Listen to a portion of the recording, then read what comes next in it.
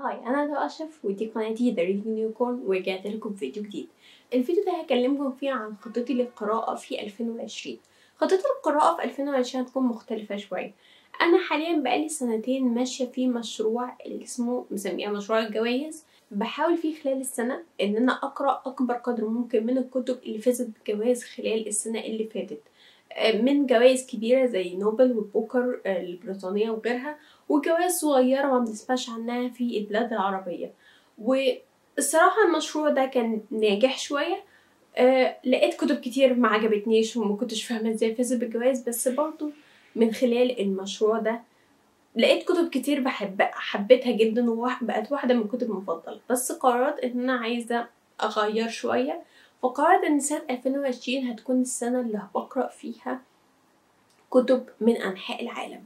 قررت إن أختار كتاب من كل دولة بقدر الإمكان في دول بسيطة عددها قليل شوية ما قدرتش الاقي لها كتب. لكن آه لقيت قعدت آه أجمعهم لقيت كتاب حاولت إنها في معظم الأحيان كان في معظم الأحيان روايات في بعض الكتب التاريخية عن الدولة دي في بعض الكتب الوثائقية التوثيقية وغيرها. طبعا كان شرطي الأول إن الكاتب يكون من الدولة دي. طبعا الشرط التاني إن يكون من الدولة دي وعاش فيها بس الشرط ده كان صعب يتحقق في, في بعض الأحيان. فعلى الأقل كنت بحاول إن الكاتب من الدولة دي أو على الأقل أصوله من الدولة دي حتى لو كان هاجر مع عيلته وخد جنسية دولة تانية زي أمريكا أو كندا أو غيرها.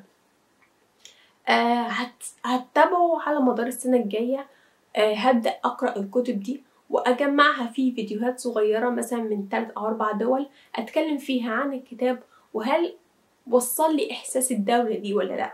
أنا طبعا ما زرتش كل الدول دي معرفش ناس من كل الدول دي فهعتمد على اللي الكاتب نقلهولي وقارنه بقدر الإمكان بالكلام اللي هلاقيه على النت. طبعا هحاول أعمل مقارنة ما بين الفترة اللي كتبت فيها الرواية دي والفترة اللي بتجسدها الرواية وما بين الحقائق التاريخية اللي عن الدولة دي. أعتقد إن المشروع هيكون بقدر ما هو ممتع وبقدر ما هو مفيد. هعرف كتير عن دول كتيرة أنا معرفش عنها غير معلومات طفيفة جدا. في دول معرفش عنها أي حاجة خالص. آه طبعا في رحلة بحثي عن الكتب. أغلبها طبعا كتب إلكترونية. مقدرش أشتري الكم ده من الكتب. آه اكتشفت آه دول كتير مش واخدة حقها بالذات في أفريقيا في النشر غير لو الكاتب مهاجر لأمريكا أو كندا أو أستراليا لكن لو الكاتب بينشر في أفريقيا للأسف يعني ما بيقدروش مفيش مؤسسة نشر كبيرة زي اللي موجودة في الدول الأوروبية. الكتاب الأوروبيين لقيت لهم كتبهم أغلبهم بسهولة. الكتب الآسيوية في بعضها آه بعضها لأ.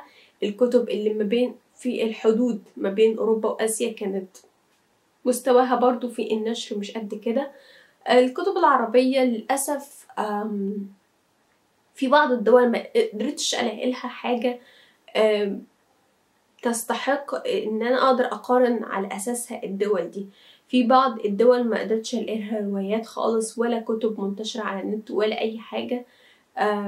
فيعني لما هوصل للمرحلة دي ممكن أطلب منكم ترشيحات. أنا طبعا متحمسة جدا للمشروع ده. حبيت أديكم نبذة بسيطة عنه. أنا متحمسة جدا للمشروع ده ومتحمسة إن مع بداية 2020 أبدأ أقرأ الكتب دي وأراجعها هنا على القناة وأبدأ أقارن ما بين اللي, اللي أنا قريته واللي معروف واللي منتشر على الإنترنت عن الدولة دي. هتكون فرصة ليا وفرصة ليكم إن إحنا نتعرف على دول كتيرة. طبعا هقول لكم تفاصيل أكتر عن الخطة دي مع بداية 2020 بس حبيت إن أنا أعمل إعلان الصغير ده عشان لو حد حابب يشاركني في الموضوع ده لو حد مهتم ممكن نتواصل على تويتر أو على فيسبوك ونتشارك الكتب أو نتشارك الأفكار. كمان لو تحبوا إن نعملها جروب على Goodreads ونقعد نتابع كل ما أبدأ أقرأ كتاب من دول نتابعه مع بعض. ما يكونش مجرد إن أنا هحط الفيديو ونت... ونتكلم في الكومنتات.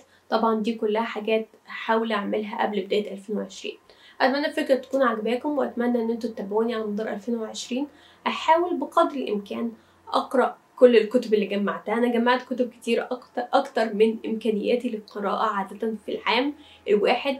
لكن اللي مشجعني شوية إن في منهم حاجات كتير كتب قصيرة.